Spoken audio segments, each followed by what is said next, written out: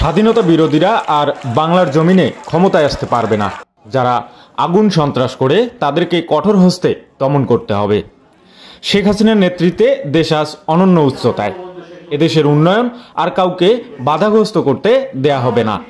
দলীয় মনোনয়ন পেয়ে আজ সন্ধ্যায় নিজ বাড়ি কালীগঞ্জে এলে হাজার হাজার নেতাকর্মীর সংবর্ধনা সভায় এসব কথা বলেন সমাজ কল্যাণমন্ত্রী নুরুজ্জামান আহমেদ এমপি।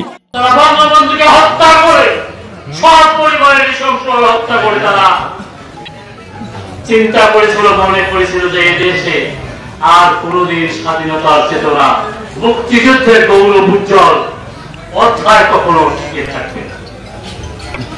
সেই স্বাধীনতা বিরোধীরা সে জিয়াউর রহমান মিলিটারি কায়দার ক্ষমতায় এসে সে সর্বপ্রথমে বীর মুক্তিযোদ্ধাদেরকে বিনা বিচারে হাজার হাজার মুক্তিযোদ্ধাদেরকে ফাঁসি দিয়েছে। সত্য না মিথ্যা।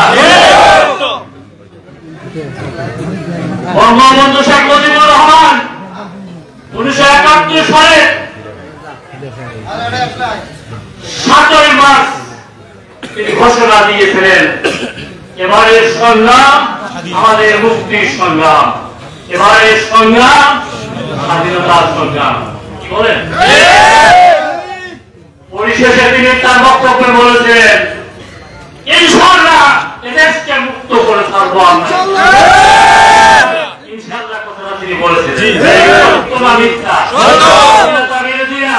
যারা আমাদের স্বাধীনতাকে চায় না যারা আমাদের মুক্তিযুদ্ধের গৌরব অবিচল অধ্যায়কে স্বীকার করে নেয় না যারা আমাদের মুক্তিযুদ্ধকে এখনও ম্লান করে দিতে চায় তাদেরকে বলতে চাই আপনারা বলেন যে বঙ্গবন্ধু তিনি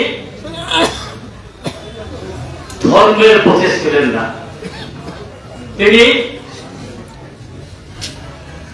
অধর্মের পথে ছিলেন। আজকে যে কথাটি বললাম যে তিনি সাতই বছর বক্তব্যের পরে ইনশাআল্লাহ কথাটি বলেছিলেন।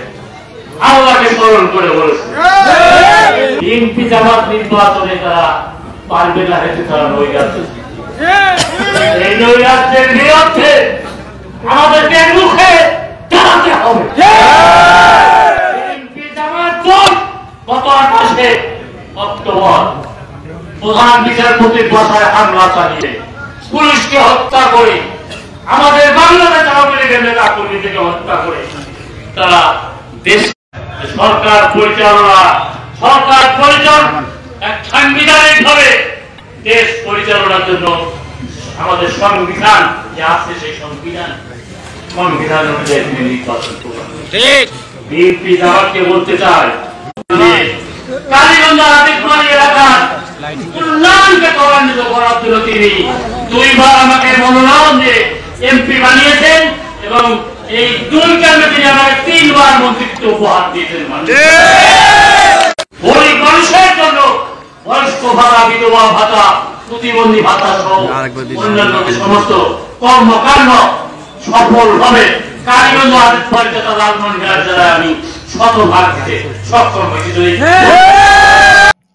সভায় অন্যান্যদের মধ্যে বক্তব্য রাখেন আদিতমারি উপজেলা আওয়ামী লীগের সাধারণ সম্পাদক রফিকুল আলম, জেলা আওয়ামী লীগের সাংগঠনিক সম্পাদক রাকিবুজ্জামান আহমেদ, প্রধান শিক্ষক খুরশিদুজ্জামান আহমেদ, যুবলীগ সভাপতি রেফাস রাঙা, কালীগঞ্জ উপজেলা আওয়ামী লীগের সাধারণ সম্পাদক মিজানুর রহমান, মিজু। বাংলাদেশ আওয়ামী লীগের মনোনীত প্রার্থী, গণপ্রজাতন্ত্রী বাংলাদেশ সরকারের মাননীয় সমাজ কল্যাণ মন্ত্রী নুরুজ্জামান আহমেদ লালমনিহাট দুই কালীগঞ্জ আদিতবাড়ির জন্য মনোনীত হয়ে আজকে নৌকা প্রতীক নিয়ে প্রথম উনি নিজ নির্বাচনী এলাকায় কালীগঞ্জে আসছেন। তার আগমন উপলক্ষে কালীগঞ্জ আদিতমারির সাধারণ ভোটার থেকে শুরু করে আওয়ামী লীগ ও অঙ্গ সহযোগী সংগঠনের নেতাকর্মী গণজোয়ার সৃষ্টি হয়েছে। আজকে কালীগঞ্জে তার বাসার আশপাশ এলাকা, হাট, বাজার, হাসপ- হাসপাতাল থেকে শুরু করে কলেজ মাঠ বিভিন্ন জায়গায় মানে ব্যাপক জনসমুদ্রে পরিণত হয়েছে।